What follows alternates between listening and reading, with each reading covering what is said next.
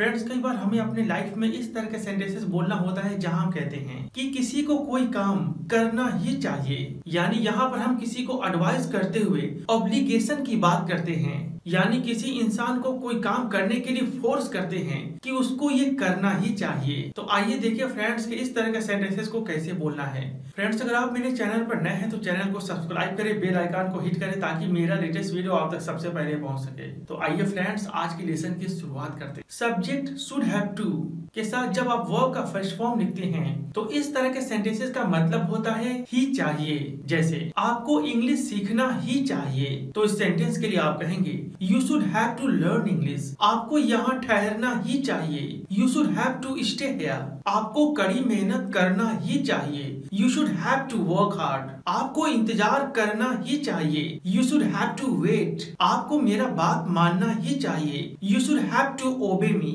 अगर आपको कहना हो कि उसे अपनी भाई की मदद करनी ही चाहिए तो इस सेंटेंस के लिए आप कहेंगे he should have to help his brother उसे कुछ करना ही चाहिए। He should have to do something आपको इस बारे में सोचना ही चाहिए। You should have to think about this तो फ्रेंड्स आपने यहाँ देखा कि इस तरह के है, जहाँ आप कहते हैं कि किसी इंसान को कोई काम करना ही चाहिए। यानी इस सेंटेंस में ऑब्लिगेशन है बाध्यता है, यानी किसी इंसान को फोर्स किया जा रहा है कोई काम करने के लिए। तो इस तरह के सेंटेंसेस को बोलने के लिए आप शुड हैव टू का इस्तेमाल करके अपने सेंटेंसेस को बोलेंगे। फ्रेंड्स अगर वाकई आपको यह कंसेप्ट समझ में आया तो क्या इस टॉपिक पर दो सेंटेंसेस कमेंट बॉक्स में लिखेंगे? सिर्फ़ दो सेंटेंसेस कमेंट बॉक्स में लिखे और मैं चेक करके बताऊँगा की आपने सही सीखा या गलत। फिर मिलेंगे कुछ और अच्छा लेसन के साथ। तब तक के लिए बाय